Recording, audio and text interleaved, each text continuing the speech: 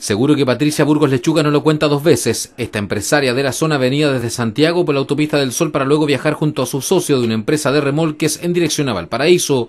Por razones que se investigan, cuando faltaban menos de dos kilómetros para llegar al sector de Puente Arevalo, la conductora perdió el control del Jeep Suzuki Gran Nómade y cruzó el eje de la calzada para caer en una quebrada. Gracias a los árboles y matorrales que existen en el sector, se pudo amortiguar el impacto del vehículo quedando la mujer policontusa y con heridas de carácter leve. Hasta el lugar del accidente llegó uno de los socios que agradeció que este accidente no pasara a mayores. La verdad la cosa es que no, no, lo sé porque nosotros estábamos en la oficina y nos comunicaron que una de las socias de la empresa chocó. No tengo mayor antecedente cómo chocó. Y se está investigando qué sucedió, Todavía no te podría decir con claridad qué pasó. Pero está bien por lo menos. Gracias a Dios no, no, le sucedió nada.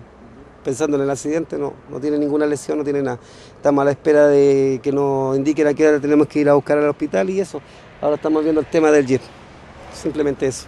Según se pudo establecer en forma preliminar, un vehículo habría apurado a la conductora tocando la bocina en forma reiterada e insistente, lo que habría generado que Patricia Burgos perdiera el control de su vehículo terminando a un costado de la quebrada.